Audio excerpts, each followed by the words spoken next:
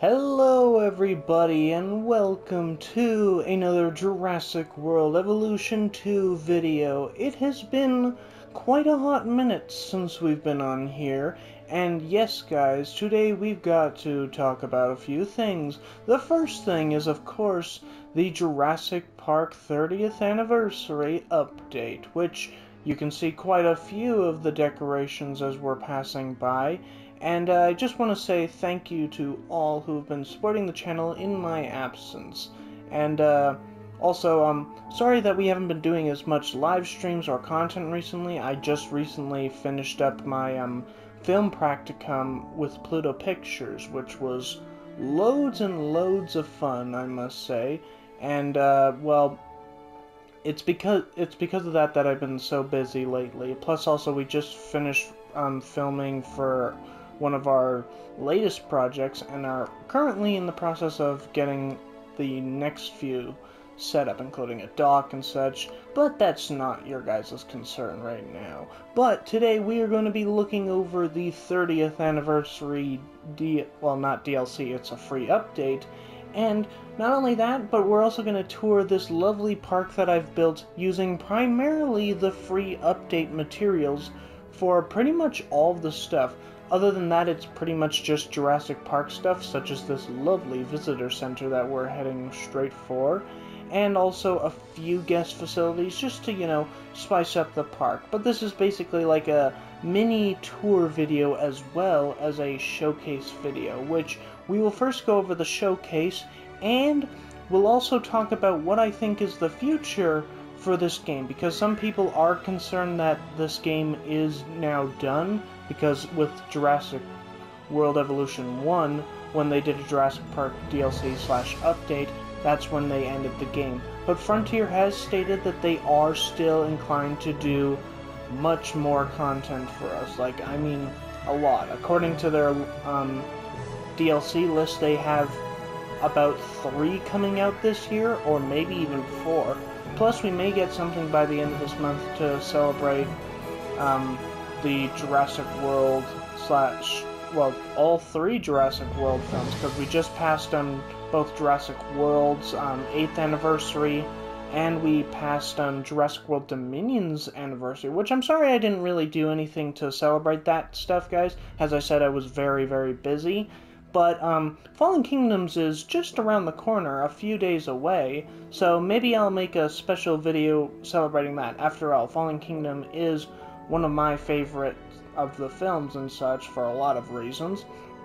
But today we'll talk over briefly the um, new decorations, then we'll talk about what these new decorations could mean for future updates or stuff, whether they be part of DLCs or just um, free updates as well. Because trust me, guys, there's a lot of things here that tease the possibility of other decorations to come forth. And I think we'll start by looking at the JP decorations right about now. So here we are, folks. We are in the lineup, the introduction stage of all of the free update stuff. And as you can see, there's quite a few things actually. Some quite surprising, which will start at the very beginning, which we've got a new selection of paths to go with the Jurassic World variants. The Jurassic World ones, we had the fancy path that was like nice, um, wooden, then we got the concrete gray, and then we got a little dirtier um, light gray, which is very similar to this one. This one's basically like the cheap path. Then we've got the um, Jurassic Park concrete version, but this time it's more um, lighter than the gray. And speaking of gray, the fancy Jurassic Park one is loaded with um, stones and stuff overlaying each other and as you can see, if we get nice and close, you can see that the Jurassic Park um, symbol and icon is there. And we've got three thicknesses for those ones and just um, regular for that. So now we've got loads of more for the path colorations, which for me, who's someone who loves going crazy with the path, not as much as Evolution Square, I bet, though, because she has the unmatched title of Crazy Path Lady. I can be um, Psychopath Man. How about that? We'll go with that. But if we move on, we go on to things that you may put on the path, including the lovely, stunning Jurassic Park um, table and chairs from the original movie, the same kind of chairs that John Hammond and Ellie Sattler sat at when they shared a bit of ice cream and talked about control.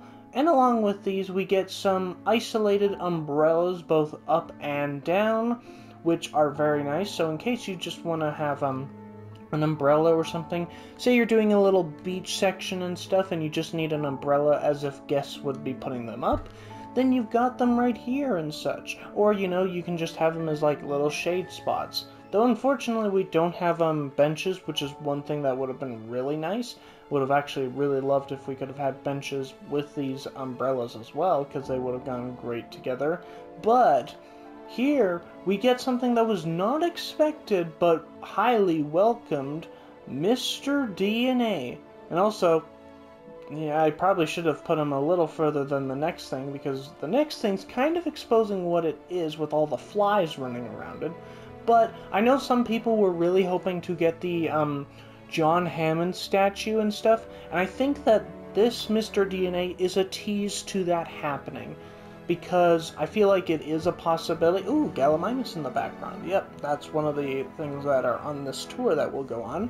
But Mr. DNA, it makes more sense for us to get Mr. DNA first, then John Hammond, because John Hammond's statue that was for Jurassic World to honor him and such in the Innovation Center.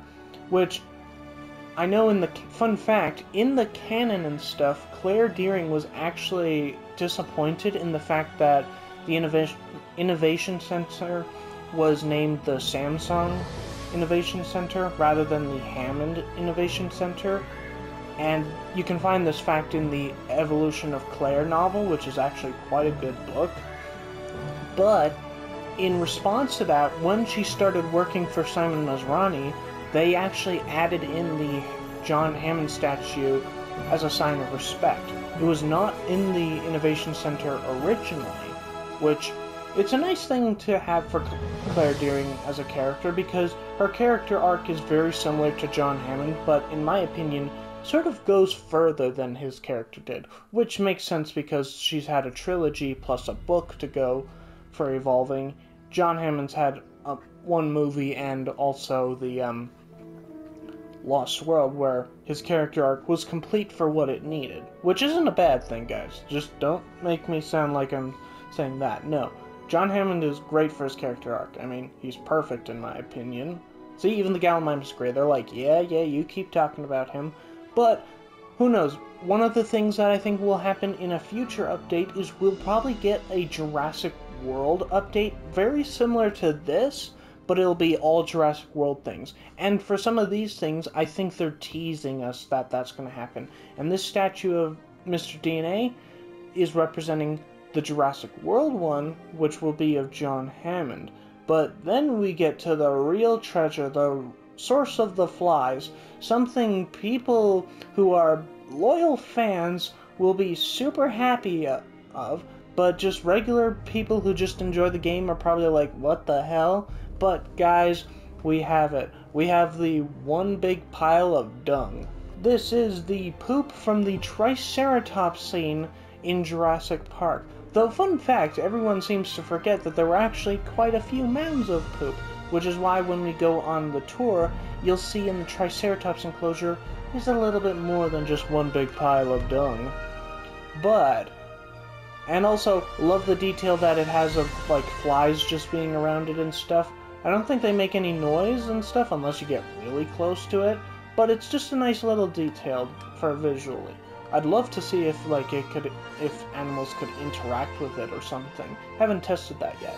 But, now we get a little bit taller in the um, department, and we have a new flag, which is, of course, when dinosaurs ruled the earth, and this one, I believe, does, um...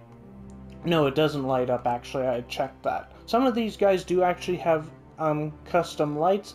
This guy is not one of them. And he goes great with the other four Jurassic Park flags that we got, um, I think we got them in the last update for like, I think when we got Malta and stuff, it was like a little free thing, but now we've got them another one to the edition. And along with that, we have it carved in stone, the Jurassic Park logo in a beautiful stone piece. And this one is one that I think we will get a Jurassic World version of in the future. I do hope we do at least. Like, or even a more clean version that's like Jurassic World and stuff, which just shows the different aesthetics they go through, which that's just my opinion. Or they could just change it to be Jurassic World instead of Jurassic Park and like pretty much the same.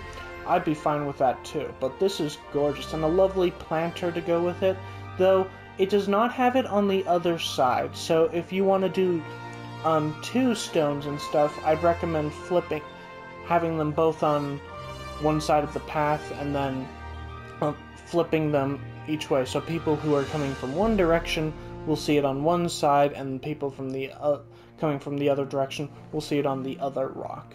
That's just my opinion, and we actually have to kind of um, zoom out a little bit for this one. But we have a little new detail, which is the Jurassic Park pylons and stuff. So when you're using them for your power, you don't have to have the regular Jurassic World ones now. You can have these guys, which they look pretty nice actually. I probably won't be using it too much and stuff, but you know, it's just a nice little addition to have. And also, if we move on, speaking of additions, we have the classic Jurassic Park fencing, which I was kind of surprised that we didn't actually have. I never realized it until like they announced um that we were getting the Jurassic Park fences. I was like, wait a minute, don't we already have them? Oh yes, also one more thing I actually forgot to add to the line is we also have the Jurassic Park um, gate itself. Well, not the Jurassic Park gate, but the security gate that we had seen um, Ellie, Ellie and Grant and Ian and all of them coming through when they first arrived, and we also saw Dennis Nedry go through, though technically speaking, this one is actually smaller than the um, than the one in the movie because in the movie both um, jeeps could actually fit in before they exited, which a little size mistake, but you know what? It's it's a small detail and stuff. But if we move on, now we get into the things that are like really, really awesome.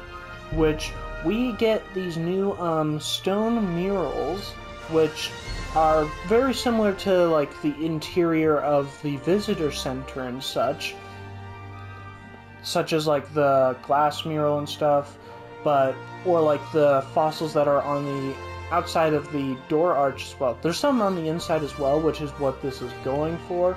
And these are awesome because like they just are like amazing. Like they can be used for so many things. Like as you'll see on our tour later on, they are like amazing. And we get multiple versions of them. We get the solid ones and we also get a archway one, which this one is very like the Jurassic Park Visitor Center doors, and also as an awesome thing, dinosaurs and well, dinosaurs I think small ones can, but I'm not 100% sure because I'll talk about that in a minute. But people can go through these, and these decorations here, they can also go on the paths. They can go into the enclosures. They can be the enclosures themselves. They can do anything. So, like, yeah, you, if you want to have people walking through this archway, or like you want to do something fancy like that, or something similar, this will be perfect for you guys. And I, w- I am planning to make like a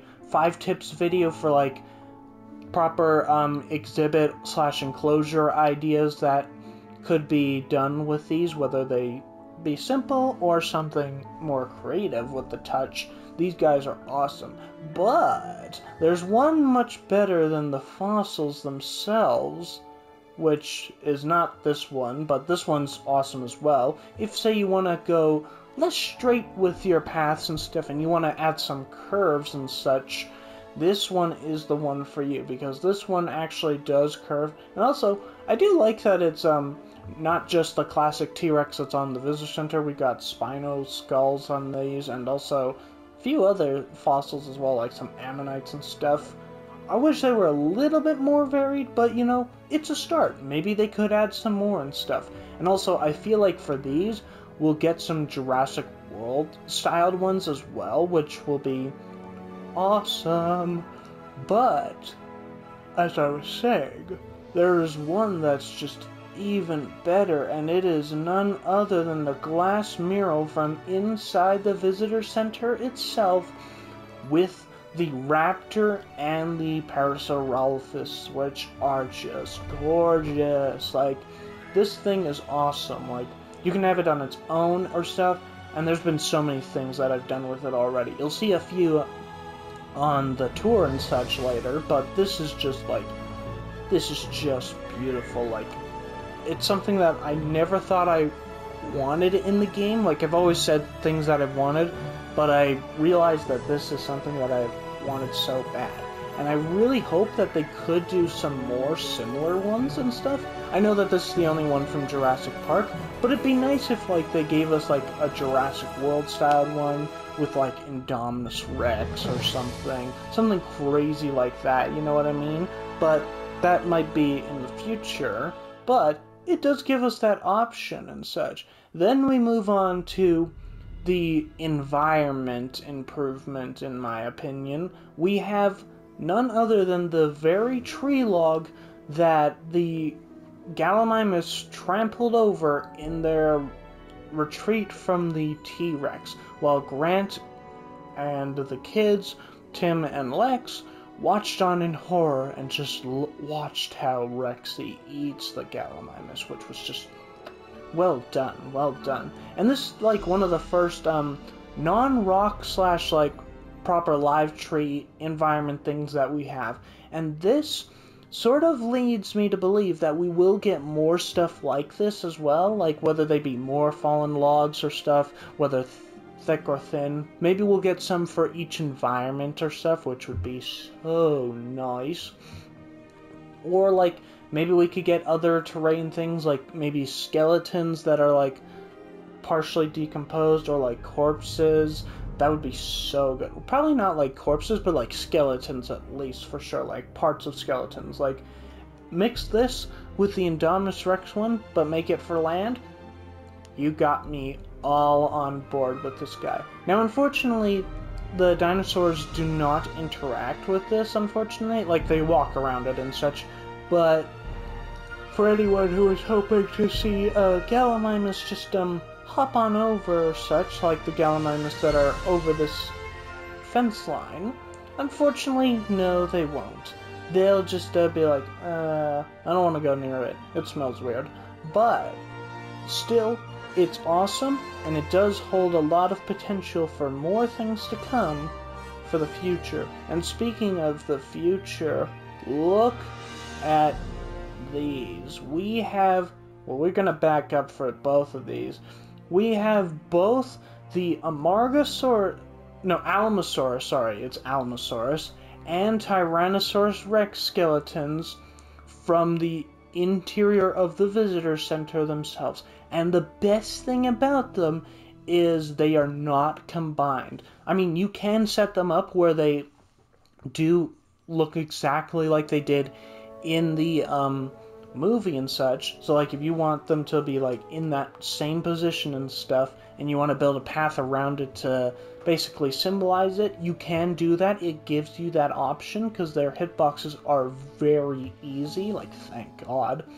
But if you just want to have like the T-Rex alone or something, you can and stuff. And for me, this is awesome because it's no longer just the Spinosaurus we have. We had the Spinosaurus skull, then we got um, the Spinosaurus um, statue from Jurassic World, which I'm hoping we get more than just these three as well. Like if we could get some other ones as well, some smaller ones, some maybe even some bigger ones like a Brachiosaurus, that would be just like ah, chef's kiss for me. And like, also guys, these guys do light up as well, so these will be awesome to use, and like these are just amazing. Like you could have these like as like the signs for like which enclosures um, coming up. Like you've got the carnivore um, country over here, or the um, sauropod sanctuary with the um, Alamosaurus. Like you could do so much with these guys now, and the fact that they're separate is just the chef's kiss. If they were together, I'd still love them, but they just knew that like we would want them separate for more opportunities for decorations, and it is really well done. I just hope we get more. Whether it starts as like a T-Rex skull on a little shelf or something, or if we get the Lockwood um, Manor's um, fossil decorations as well. Oh my god, that would be so amazing. But moving on to one that really has me happy is this banner of when dinosaurs ruled the earth. Now, in the movie, um, it was not held held up by two pillars, obviously, but this is a nice setup for something I want to see in a Jurassic World update because one of the things that I've said repeatedly that I want to have added to the game is the um, uh, what you call it, the uh, Tyrannosaurus Rex Kingdom um, archway, which this pretty much to me signifies that we are going to get that someday. Like, whether it's by the. Hopefully it's soon, because if it's soon, I get to use it. But if not, then I'll be very sad. But this like gives us so many opportunities, and this can also go on the path. Oh, and so can these guys as well. Oh, the Gallimimus, you guys better be careful. Like these guys are fossils, but not too far away is a a, a real T-Rex, and she's probably hungry for some chicken. And yeah, all of these can go on the path, except for like fences and and the pylons, I believe. I'm not sure if the log can go on. I doubt it. It probably wouldn't make sense if it was on there. But if it does, nice bonus as well. You can have an abandoned park theme as well. Oh god, I'm tired. Uh, well, anyway, this banner, awesome. Chef's kiss, beautiful, and like can go in enclosures and everything. But now we get onto the other one that many fans have wanted for a long, long time the Jurassic Park gates made for the path itself.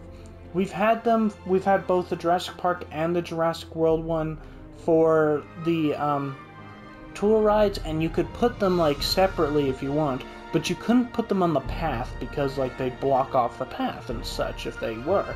But these, this one, because its gates have been removed, is made for guests to use and walk through. So you can have this in the middle of your main street and such, and you'll have no issues.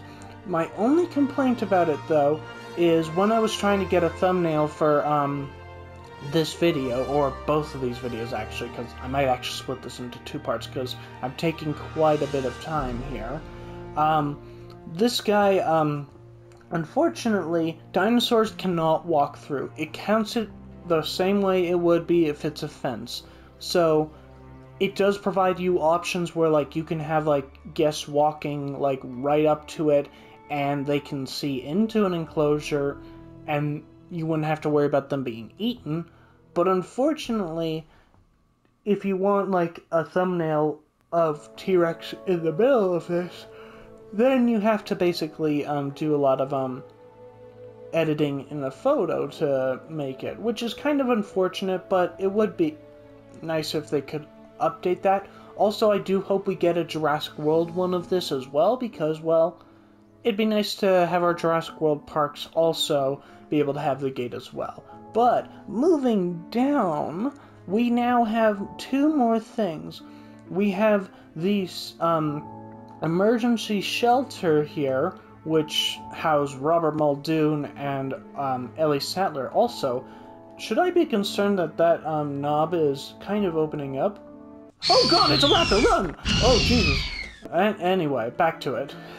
Sorry guys, I just tried to get a little jump scare and, you know, get the Jurassic horror pumping and again. But yeah, this is the um, shelter and stuff, and we do already have this as like um, an emergency shelter itself. But this one's like one that like if say you want to build an enclosure for like your raptors and such, and you want to have this near, then you don't have to worry about getting a notification of like, hey, this thing ain't connected to the path, Sonny.